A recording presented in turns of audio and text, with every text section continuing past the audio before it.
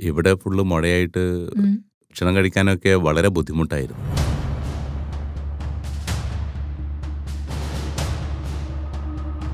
Final സ്റ്റേജിലാണ് ഞങ്ങൾക്ക് ഇത് മനസ്സിലായത്.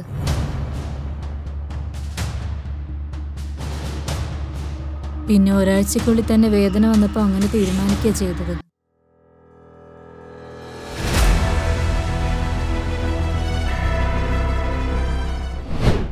വെൽക്കം ടു നേച്ചർ ക്യൂർ നമ്മളോടൊപ്പം പേഷ്യന്റും പേഷ്യന്റെ റിലേറ്റീവും ഉണ്ട്. എന്ത് ക്യാൻസറാണ് ബാധിച്ചതെന്ന് നമുക്ക് ഇവരോട് തന്നെ ചോദിച്ച് മനസ്സിലാക്കാം. കൂടാതെ സിംറ്റംസിനെ പറ്റിയും നമുക്കറിയാം.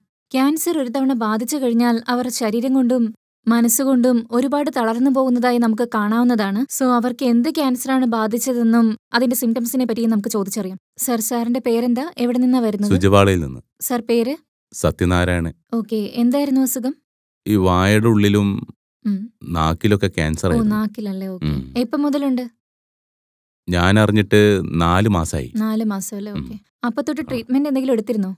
അറിഞ്ഞപ്പോൾ തന്നെ ഇങ്ങോട്ടാ വന്നത് സാറെ കാണാൻ. ഇങ്ങോട്ട് വന്നതിന് ശേഷവും വേറൊരു സ്ഥലത്ത് കൂടെ പോയി നോക്കിയായിരുന്നു. അത് മുപ്പത് റേഡിയേഷൻ വരെ എനിക്ക് ചെയ്തായിരുന്നു. മുപ്പത് റേഡിയേഷനോ അഞ്ച് പ്രാവശ്യം കീമോ ചെയ്തു. വളരെ വേദനയും വന്നായിരുന്നു.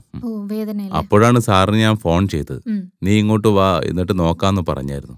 അപ്പൊ ഞാൻ തിരിച്ചിങ്ങോട്ട് തന്നെ വന്നു. റേഡിയേഷനും കീമോ അല്ലാതെ വേറെ എന്തെങ്കിലും ട്രീറ്റ്മെന്റ് ഇല്ല ഇല്ല ഇല്ല ഇല്ല ചെയ്തിട്ടില്ല.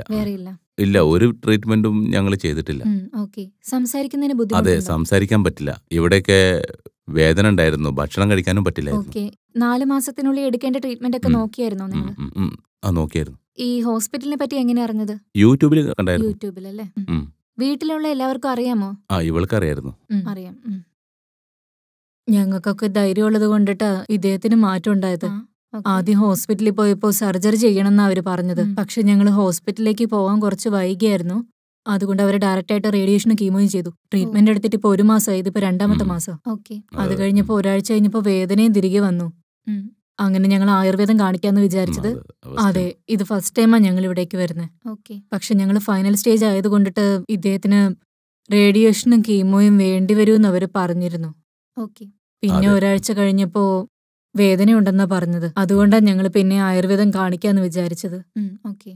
അതെ ഇത് കണ്ടിന്യൂ. ചെയ്യും. ശരി നിങ്ങൾ ഇവിടുത്തെ മരുന്ന് കണ്ടിന്യൂ ചെയ്തോളൂ. അസുഖം മാറിയതിനു ശേഷം നമുക്ക് വീണ്ടും കാണാം.